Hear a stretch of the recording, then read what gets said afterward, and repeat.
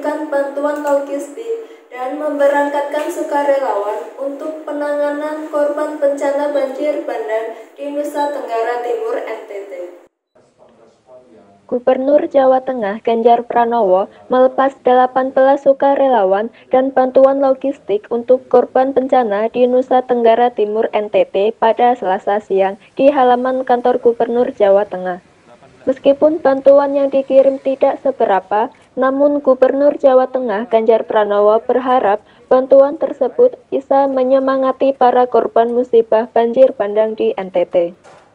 Ganjar Pranowo mengatakan sangat bangga pada sukarelawan yang selalu siap ketika daerah lain terjadi bencana para sukarelawan selalu sigap berkomunikasi dengan daerah lain ketika terjadi bencana dan siap membantu. Sebenarnya kita, saya sudah komunikasi dengan Pak Wagub sehari setelah kejadian dan beliau memang apa namanya lagi di lapangan begitu ya sehingga lagi menata dan kita mau kirimkan bantuan ternyata di hari-hari awal itu belum bisa.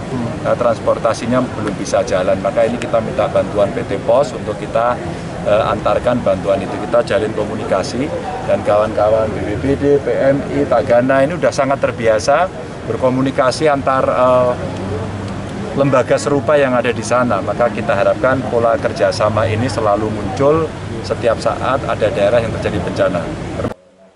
Sementara itu, PLT Kepala BPBD Jawa Tengah Syafruddin mengatakan untuk sukarelawan yang diperangkatkan berasal dari unsur kesehatan, Tagana, PMI, dan BPBD Kabupaten Kota.